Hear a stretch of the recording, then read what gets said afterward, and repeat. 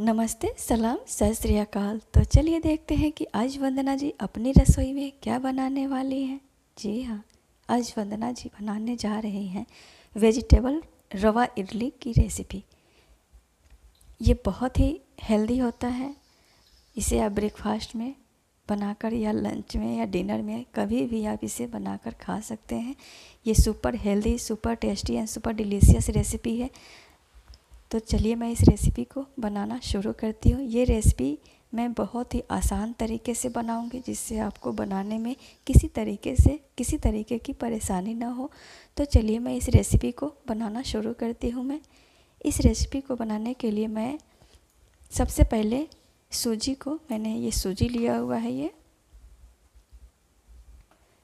ये बारीक वाली सूजी है। आपके पास अगर मोटी वाली सूजी हो तो आप ग्राइंडर जार के अंदर चला के थोड़ी देर पीस लेंगे तो वो बारीक हो जाएगी।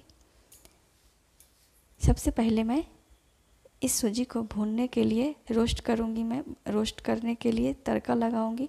तड़का लगाने के लिए मैंने लिया है हाफ़ टी स्पून उड़द दाल, हाफ़ टी स्पून चना दाल और हाफ़ टी स्पून पीली सरसों है। आप राई हो तो राई भी ले सकते हैं और थोड़े से कड़ी लीफ है और कैसू नट्स काजू है। तो चलिए मैं इसको भून कर तैयार कर लेती हूँ मैं। सबसे पहले मैंने गैस को ऑन कर दिया है। इसके ऊपर मैंने कढ़ाई चढ़ा दिया है।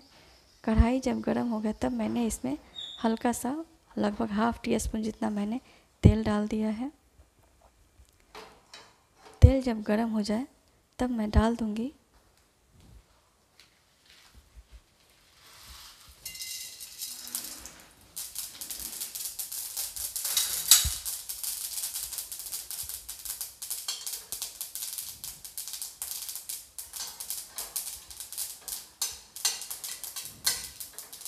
जब ये हल्का सा भून जाए, तब मैं डालूँगी कैसू नट्स।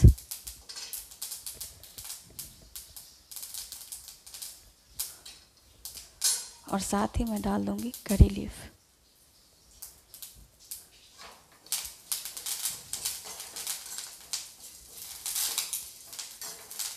इनको बहुत ज़्यादा ड्राई नहीं करना है जलाना नहीं है।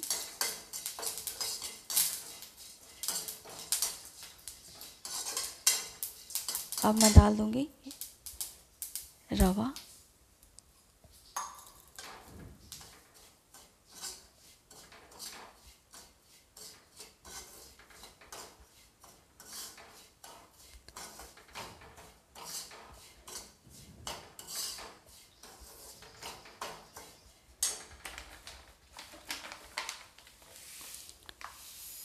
मैं रवा लूँगी one and half cup.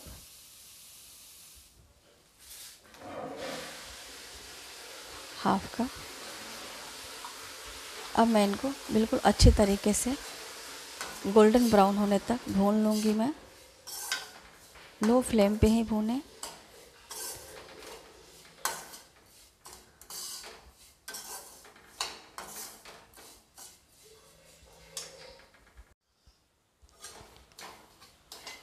मैंने इस रवा को बिल्कुल लो फ्लेम पे हल्का सा गोल्डन ब्राउन होने तक भून लिया है।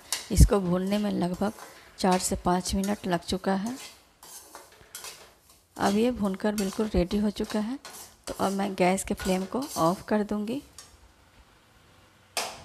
और इसे ठंडा होने दूँगी। जब ये रूम टेम्परेचर पे आ जाए, तब मैं इसे दही के साथ मिक्स करूँगी मैं। तो प्लीज़ आप मेरे इस वीडियो को पूरा लास्ट तक देखें, तभी आपको पता चल पाएगा कि मैं इस रेसिपी को किस तरीके से बनाती हूँ। तो चलिए मैं इसे ठंडा होने के बाद मैं आपसे मिलती हूँ। अब ये बिल्कुल ठंडा हो चुका है। तो अब चलिए मैं इसको दही के साथ मिक्स कर लेती हूँ। मैंने वन, मैंने सूजी लिया था वन एंड हाफ़ कप दही लूँगी मैं। वन एंड हाफ़ कप ही मैंने दही को अच्छी तरीके से फेंट लिया हुआ है।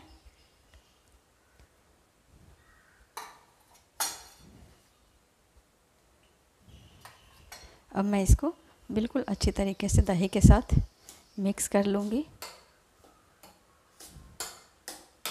मिक्स करने के बाद मैं इसे कम से कम आधा से एक घंटा तक मैं फूलने के लिए इसे छोड़ दूँगी ताकि ये अच्छी तरीके से सूजी जो है फूल कर रेडी हो जाए, सॉफ्ट हो जाए।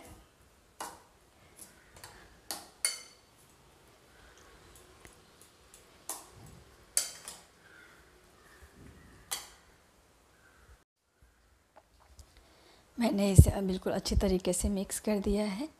अभी ये बहुत ज़्यादा टाइट है तो मैं डाल दूँगी हाफ़ कप के जितना, तीन से चार टेबल स्पून जितना पानी। क्योंकि सूजी को फूलने के लिए पानी भी चाहिए।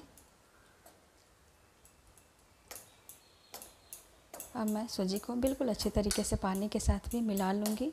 उसके बाद मैं इसे ढक के कम से कम आधा से एक घंटे तक, अगर आपके पास टाइम हो तो एक घंटा तक भिगो के छोड़ दें इसको। टाइम ना हो तो आधे घंटे के बाद भी आप बना सकते हैं।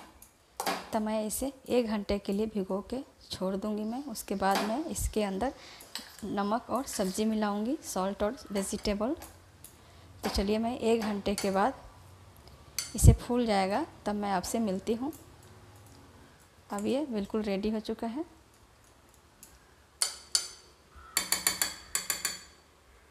मैं इसे ढक दूँगी एक प्लेट से। इडली बैटर को भिगोए हुए लगभग एक घंटा हो चुका है। अब मैं इसमें डाल दूँगी टेस्ट के हिसाब से नमक सॉल्ट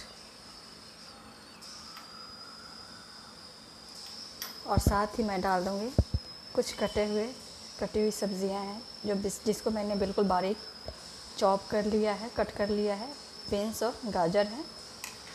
इन सबको मैं डाल दूँगी। और ज़रूरत के हिसाब से मैं पानी डालूँगी, ये क्योंकि ये फूल कर बिल्कुल गाढ़ा हो चुका है। मैं इसमें पानी मिलाऊँगी। जितना ज़रूरत हो, उसी हिसाब से पानी डालना है। मैंने लगभग हाफ़ कप के जितना पानी डाल दिया है, और साथ ही मैं डालूँगी इसमें पिंच भर सोडा, बेकिंग पाउडर है ये, ताकि इडली जो है फ्लपी और सॉफ्ट बने। अब मैं इन सभी को बिल्कुल अच्छी तरीके से मिक्स कर लूँगी मैं। मैंने इस इडली बैटर को बिल्कुल अच्छी तरीके से मिक्स कर लिया है।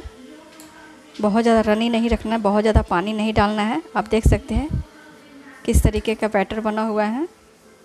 इस तरीके से ही बनाना है। अब चलिए मैं इसे इडली मोल्ड में डाल देती हूँ मैं। मैंने इडली मोल को पहले से ही हल्के से कोकोनट ऑयल से ग्रीस कर दिया हुआ है।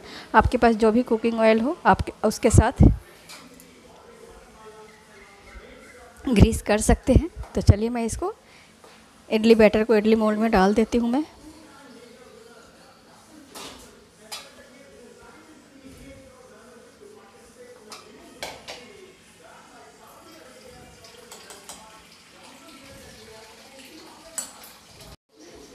मैंने सभी इडली मोल्ड के अंदर इडली बैटर को डाल दिया हुआ है।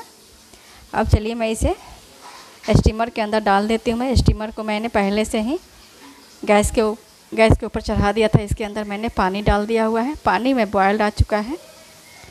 अब मैं इस इडली मोल्ड को स्टीमर के अंदर डाल दूँगी।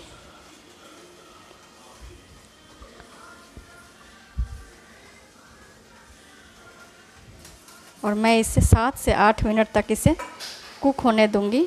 फुल फ्लेम पे कुक करना है। लो या मीडियम नहीं करना है। मैं सात से आठ मिनट तक इसे कुक करने के बाद मैं आपसे मिलती हूँ।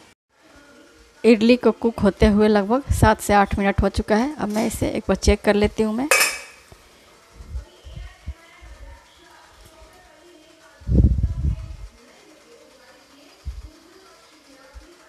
ये बिल्कुल कुक हो चुका है, सात से आठ मिनट में, आप देख सकते हैं। अब मैं इसके गैस के फ्लेम को ऑफ़ कर दूँगी और इस इडली को मैं निकाल कर साइड में रख लूँगी ताकि ये ठंडा हो जाए।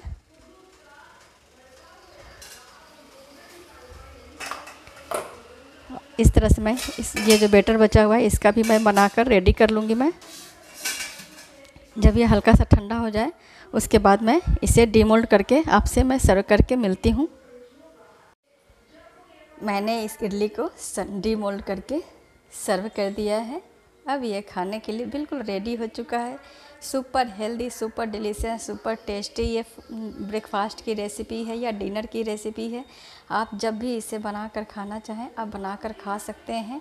आप देख सकते हैं ये कितना सॉफ्ट सुपर स्पंजी है, बहुत ही अच्छा बना हुआ है और सुपर हेल्दी है। प्लीज़ आप इस रेसिपी को एक बार ज़रूर बना कर खाएँ। मैंने इडली को सर्व की, इडली के साथ सर्व किया है सांबर और थोड़े से फ्रूट्स के साथ। तो इस तरीके से आप भी अपना ब्रेकफास्ट प्लेट तैयार करें और खाएँ और हेल्दी रहें। तो अगर आपको मेरी ये रेसिपी अच्छी लगे तो प्लीज़ आप मेरे इस रेसिपी को एक लाइक करें, मेरे इस चैनल को सब्सक्राइब करें तथा बेल आइकन को भी प्रेस करें ताकि मेरी हर आने वाली एक नई और हेल्दी रेसिपी आप तक पहुँच सके। Thank you for watching